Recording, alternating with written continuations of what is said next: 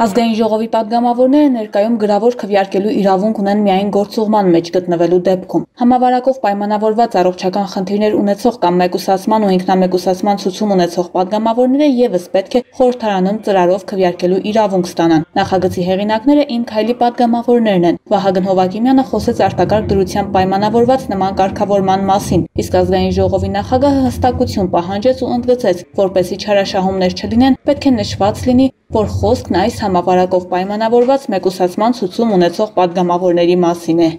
Եթե պիտի, այսպես ենք, օգտվեն նման գործիքներից ի չարս, շատ մեղմ ասած, մեղմ ասած դա մեր և, պետության քաղաքական կյանքի ողբերգությունը կարող է դառնալ։ Դա հղի է տարբեր հնարավոր հետևանքներով անկախ գնահատականներից եւ պետք է կենտրոնանալ բացառապես կորոնավիրուսի համաճարակի համար կորոնավիրուսով վարակված падգամավորների քվեարկության վրա։ Առնվազն մի քանի գումարում падգամավորներ են ունեցել, որոնք իրար փոխարեն կնոպկա են սխմել ու որովիցե մեկը դրանից չի էլ ամաչել, հետո ազգային ժողովի նախագահ եւ փոխնախագահ են դարել այդ նույն մարդիկ եւ պետք չի պատկերացնել, որ ազգային ժողովի դահլիճում միայն լինելու են նման падգամավորներ, օրինակելի падգամավորներ, որոնց մասին դուք խոսում եք։ Նախագծի համահեղինակ ասաց, որ ընդունելի է ավելի հստակ ձևակերպումը ընդդիմության համար տարօրինակ էր մոտեցումը, որ падգամավորն իրավունք ունի նաև գլխադասային հանձնաժողովներում ծրարով քվեարկություն կատարել։ Եթե падգամավորը չի մասնակցել գոնե հանձնաժողովի մասնագիտական քննարկմանը, որտեղ ավելի խորքային է քննարկվում։ Ինչպես պետք է ձևավորվի այդ կարծիքը։ Ինքը կարող է նախագծի մասին շատ լավ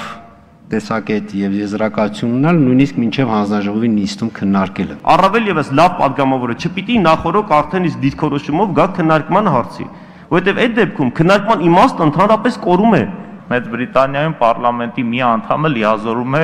մեկ այլ անդամին իր փոխարեն քվեարկություն իրականացնելու։ Միջազգային փորձից օրինակներ բերող փոխնախարարը այնուամենայնիվ օրենքի նման կիրառման հարցում խնդիրներ տեսավ։ Այսպես կոչված բժշկի թուղթը տրվում է հիվանդության ավարտին։ Այդ դեպքում ինչպես է падգամավորն ապացուցելու իր ռիսկային խմբում գտնվելը։ Այս կարգավորումներն ընդհանրապես անտեղի համարեց Էդմոն Մարուկյանը։ Ձեր ձայները բավարար է կորոնավիրուսի համավարակի ժամանակ համանadrությունը փոխել։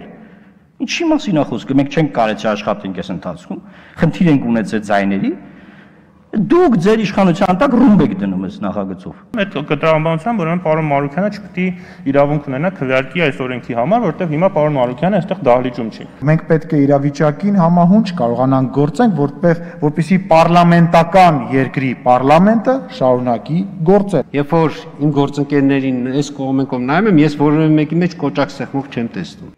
Կոռուպցիայի կանխարգելման հանձնաժողովի անդամի տեխնացու առաջադրելու հարցում եւս խորհրդարանում չկա կոնսենսուս։ Երկար ժամանակ պաշտոնը թափուր մնալուց հետո Իմ քայլը լուծում է գտել։ Առաջարկում է համախոհության բացակայության պատճառով այդ իրավասությունը վերապահել ազգային ժողովի նախագահին, պնդելով, որ խորհրդարանի նախագահը ներկայացնում է ամբողջ ազգային ժողովի կամքը։ Տվեք մեկ օրինակ օրենսդրական կարգավորման, որ նախագահը ներկայացնում է քաղաքական ուժերի քաղաքական կամքը ազգային ժողովում։ Ու դուք շատ լավ գիտեք, որ ես չեմ կարա բերեմ այդ օրինակը, բայց եւ միևնույն ժամանակ շատ լավ գիտեք, որ ես նման պնդում էլ չեմ կատարել, թե տենց դրույթ կա։ Այնուամենայնիվ այդ կոնսենսուսը գա, վրա հասնի։ Թող մի քիչ չարչարվեն, հետո դա դառնա ավանդույթ, լավ օրից չի, որ այս նախագիծը բերվել է։ Զրկում եք, խլում եք ընդդիմությունից այդ մի լծակը, մի հնարավորությունը։ Եվ սա որևէ կերպ արդարացված չէ, որովհետև ձեր ասած կոնսենսուսի հասնելու փորձերը չեն եղել բավարար, ես պնդում եմ։ Սա միակ միջոցն է, որpիսի ընդդիմությունը կարողանա ըստ էության վետո դնի այդ գործընթացի վրա։